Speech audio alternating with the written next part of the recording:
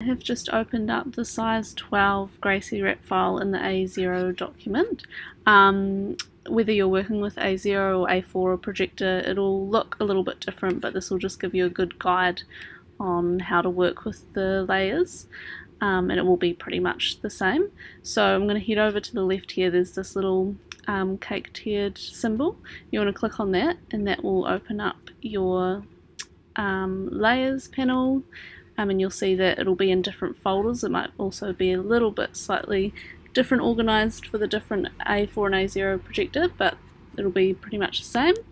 Um, so I'm going to go in there and have a wee look. This is what um, I'm working with the bundle package for this file. Um, so if you're working with standard Gracie wrap pattern, it'll have a little bit less customizations, but it'll just be once again a good guide on how to change customizations for what you do have.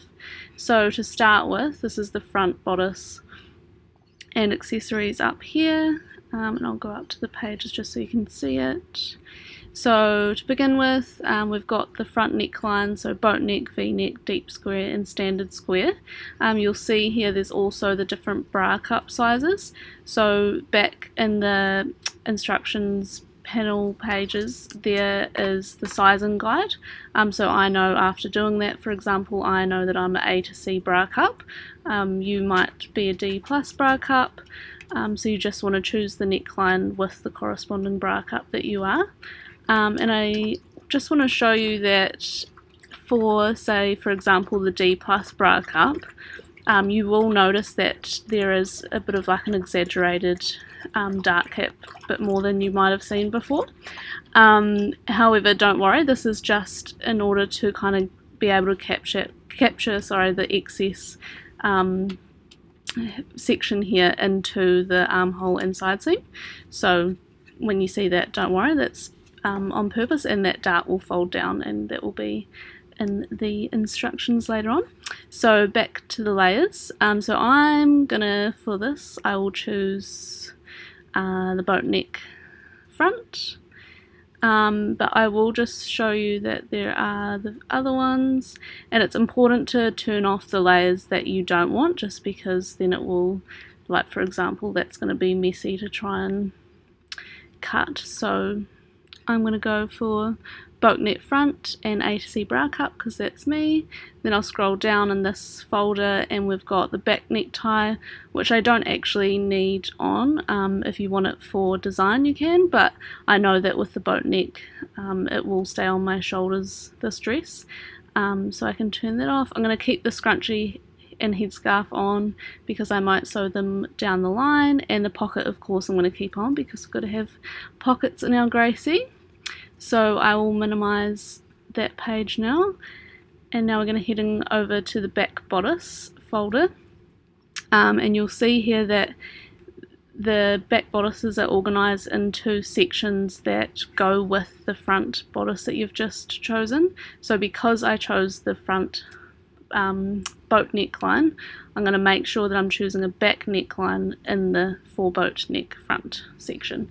And if I, of course, chose a V-neck or square, I'd make sure, sure I was choosing it out of here, and then deep square, I'd make sure that I would be choosing the low square back. Um, this is just really important to make sure you're matching your back neckline to your front neckline because um, it means that the shoulders will match up, otherwise you would have um, shoulder seams that were a little bit different. So yeah, I'm going to make sure I'm going to choose something from the boat neck front option and I'm going to go for, let's go for the low square back and you'll see that it just automatically changes for you. So for example, we're on the back page here and say if I turned that off and went to boat neck, that's going to automatically change for me and the back facings as well. And of course the V as well. So yeah, let's go for boat neck back. Um, and that's all in that little folder. Then we're going to head down to sleeves and skirts. So um, the options are either short puff sleeve or long shirt sleeve. I will go for the long shirt sleeve. I personally really like the long shirt sleeve because you can have it down at your wrist or you can push it up um, kind of above your elbow depending on how you finish it. Um, so I'll keep it on that. I'll just scroll down so you can see what we're working with. So yeah, so long shirt, so I'm going to keep it on that, but there's the short puff if I did want that. So I'm going to turn that off and turn on my long shirt. Then beneath that we have our skirt lengths. So uh, we've catered the different to the different heights because because this um, is originally from our Gracie Wrap made to order. We have worked with a lot of customers and kind of came up with this little um, kind of categorized all the heights here um, and which works really well. So for example, I'm 168 centimeters tall, so and I want to, for example, I'd want a mid thigh finish, so I'd find where I would be, which is this one, 160 centimeters to 169. That would be me, and that's a mid thigh finish.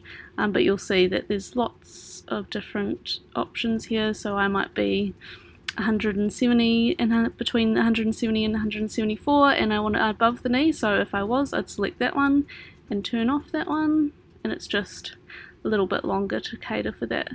So I'm gonna go back over here turn off that and make sure it's on the height that I want which it is um, and of course if you're making a Lydia top in the bundle there's um, the different Lydia skirts as well Okay, so we'll just turn off that. And the last one is waist wraps. Um, for size 6 to 14, you'll have these three, and then the size 16 plus, you'll have the two-toned and thin waist wrap as your standard. Um, there'll be more on that in the instructions when you read that. So go down here and I'll probably just go for I think the thin waist wrap we'll say that I'll do um, which can either be sewn in or left separate which will be in the instructions as well. Um, and that's that and you'll see that when you cut that out once it's um, ready to go these match up here and you just stick it up here.